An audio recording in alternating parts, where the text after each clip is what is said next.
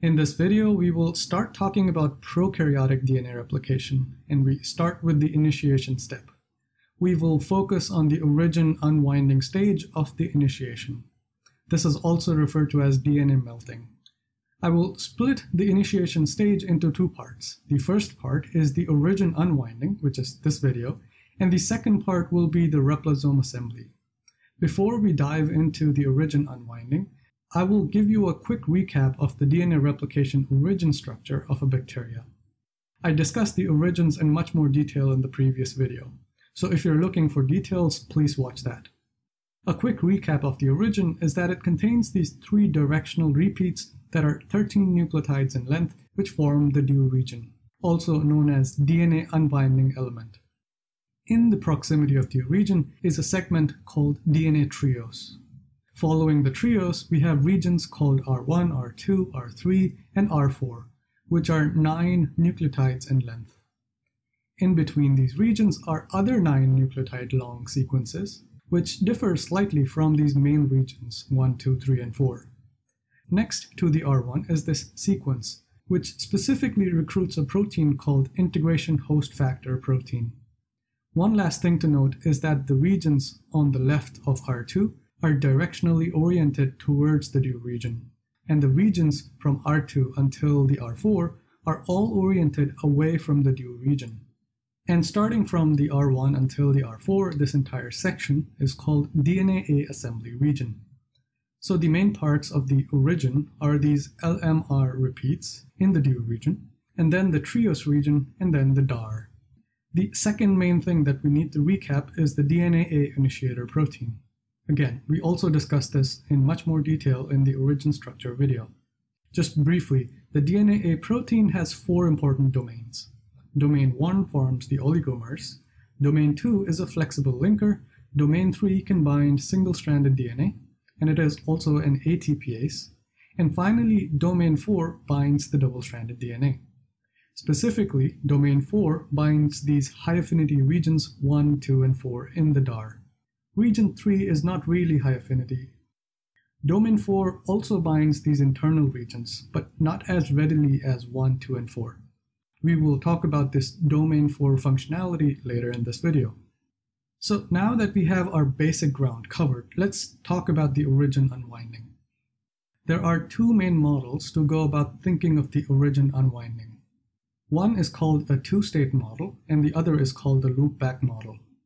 Let me introduce them quickly, and then we will dive into the details. The two-state model suggests that there are two different DNA-A oligomerization states.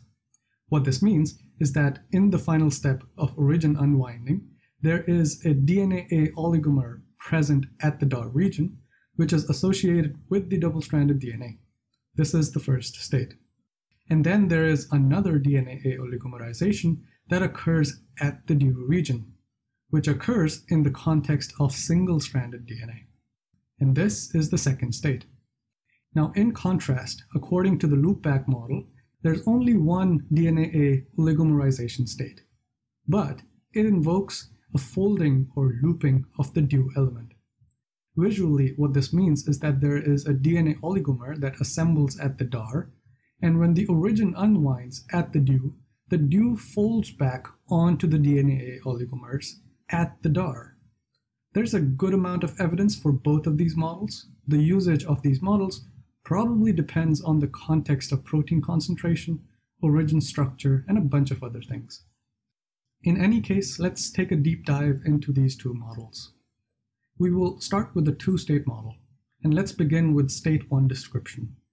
The focus of the origin begins with the R1, R2, and R4 regions, because they're high affinity sites for DNA-A protein. The domain 4 of DNA-A protein recognizes these regions and binds to it, which means that in this representation, the farthest domain is the domain 1. And I will color the domain 3 red just to signify that these are the starting DNA-A protomers. More specifically, the DNA ATP binds better at these sites, but ADP works just fine as well. So the first step is the binding of DNA at these high affinity regions in DAR. DNA protein actually comes with a helper protein, which is called DiaA. It can either come in a DNA-A dia pre-complex, or it can bind to the DNA-A after it is bound at the DAR. The order of events in this case is not that big of a deal. By the way, DiaA stands for DNA-A initiator associated protein. Now, why do we care about DiaA? Well, it turns out that DiaA can form tetramers. And if DiaA can form multimers or tetramers, then it can also form DNA-A multimers, since DiaA is bound to the domain of DNA-A. This sort of association is called the linkage effect of DiaA, and this drives the DNA-A oligomerization. So let's understand this linkage effect visually. Since multiple DiaA can come together, it can force the aggregation of DNA-A proteins at the DAR. It is like a crowding agent. Once this DiaA forms multimers, it can further force the DNA-A oligomerization at the DAR. Recall that there are many internal sites at the DAR that are low affinity sites for DNA-A. Once this DiaA-mediated linkage is forced, more DNA-A is recruited at the DAR and it occupies the low affinity sites. And these new DNA-A proteins also have DiaA associated with them. So DiaA further stabilizes the DNA-A complexes at the DAR region. This mechanism of DNA-A association is probably concentration driven. This binding of DNA-A complexes at DAR also correlates with the binding of IHF at the IHF recruiting sequence near region 1. And this completes the state 1 of the two-state model which is based on the double-stranded DNA recognition and binding. The transition now to the next state depends on the IHF, which assists in the DNA unwinding of the DUE region, which is just upstream of the R1 site. The unwinding or DNA melting is caused because IHF binding causes a 120 degree bend in the DNA. The unwinding then allows DNA oligomerization into the DUE region, and that is the second state. Let's get a bit more concrete and see what this 120 degree bend actually does. I will start the visualization by emphasizing that the binding of IHF causes DNA torsion, which is a fancy word for change in DNA topology. All this change occurs in the backdrop of a stable state 1 which consists of DNA stably bound to the DAR region at both low and high affinity sites. This state 1 is also stabilized by DiaA. Because DAR is stably bound by DNA proteins, it is really difficult to unwind the DAR. So the IHF mediated topological change unwinds the DUE region since it is not bound by any proteins. And also that DUE is very AT rich so it is easier to unwind. Now, keep in mind that there is a trios region that overlaps a bit with the DUE. So the trios and the LMR repeats become exposed as single strands of DNA after unwinding.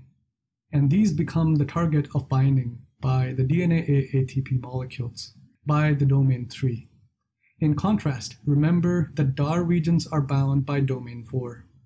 So in this picture of single-stranded DNA binding at DUE, I'm not showing domain 4 for simplicity. Now, as this occurs, DiaA may dissociate away from the complex. We will discuss this exact mechanism of DiaA dissociation in the next video.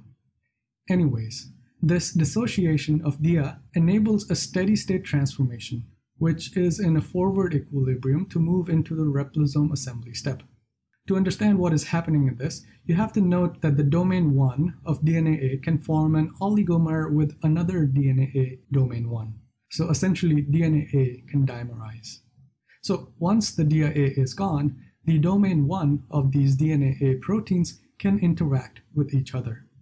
This is a highly dynamic state, and this is possible because of the flexible linker domain 2. One last thing. The domain 3 interacts with the LMR motif, especially on the T-rich part.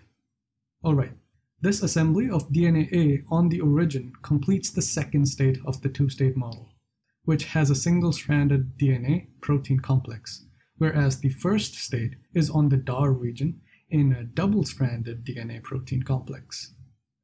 This is how the two-state model posits origin unwinding, which then leads to the recruitment of helicases and other proteins needed for a replisome assembly and continuation into DNA replication.